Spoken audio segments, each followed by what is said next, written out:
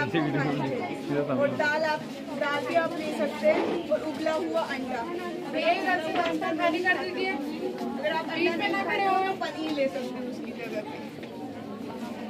उसके बाद में सुबह हो गया उसके बाद सुबह के बाद में अगर भूख लगती है तो आपको खाना है मौसमी फल। जैसे कि उस सीज़न में जो भी फल आ रहे हो जैसे कि अभी जो आ रहा है वो खाना है। उस सीज़न पे कुछ और आ रहा हो तो